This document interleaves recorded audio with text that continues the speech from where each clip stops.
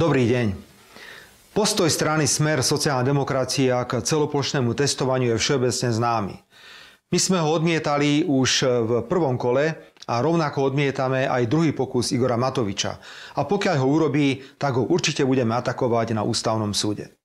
Nás ale prekvapuje postoj prezidentky Slovenskej republiky.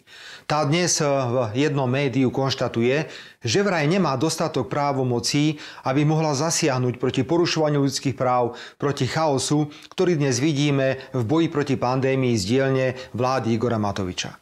Ja s týmto nemôžem súhlasiť a myslím si, že pani prezidentka sa iba lacno vyhovára.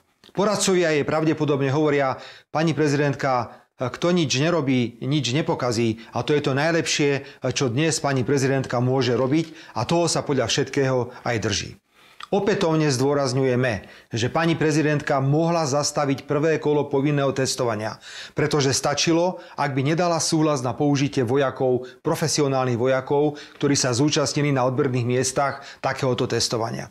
To isté platí aj v druhom kole. Pani prezidentka, ak nedá súhlas, vojaci nemôžu prísť a nebude žiadne druhé kolo testovania. Takže pani prezidentka, ešte raz, lacno sa nevyhovárajte, konajte, máte jasné právomoci v ústavnom zákone o bezpečnosti štátu.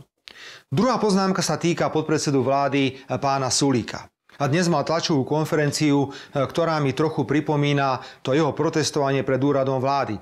Pamätáme sa, ako sa sám postavil na protest medzi protestujúcich proti vláde, ktoré je súčasťou jednoducho niečo nevýdané. Keby som bol predsedom vlády a mám takéhoto ministra a dôjde mi po takomto proteste na druhý deň na rokovanie vlády, tak sa ho spýtam, či má všetkých svetých pohromade a čo tam ešte robí a nech dá okamžite demisiu. Lebo ak ju nedá, tak by som podal návrh na jeho odvolanie. Nuž a rovnako odporúčam pánovi Sulíkovi, aby prestal vymýšľať teplú vodu. Pretože zrazu prišiel s tým, že treba posielať dôchodcom nejaké rúška.